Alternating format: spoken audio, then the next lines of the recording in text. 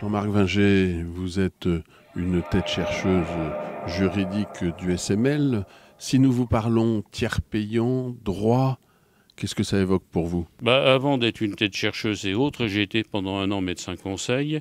Et au niveau des caisses, dans l'année-là, euh, on avait remarqué que à chaque fois que l'on instaurait un tiers payant, cela amenait immanquablement à une inflation du volume des actes.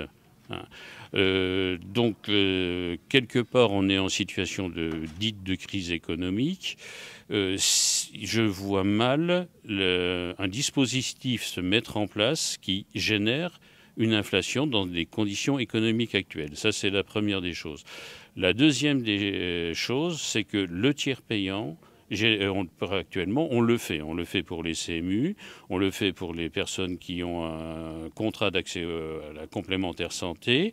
Et en plus de ça, euh, au sein de la commission paritaire locale, on a négocié avec le directeur de la caisse que lorsqu'un médecin avait connaissance de difficultés euh, de la part d'une famille, il puisse faire le tiers payant, au moins pour la part sécurité sociale.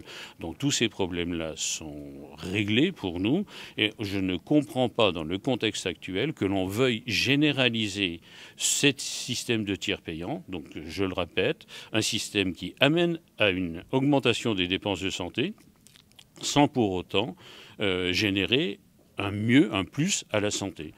Plus de ça, il faut reconnaître aussi que toute notre population n'est pas dans la misère. Euh, certains peuvent faire l'avance de soins et attendre que leur complémentaire les rembourse.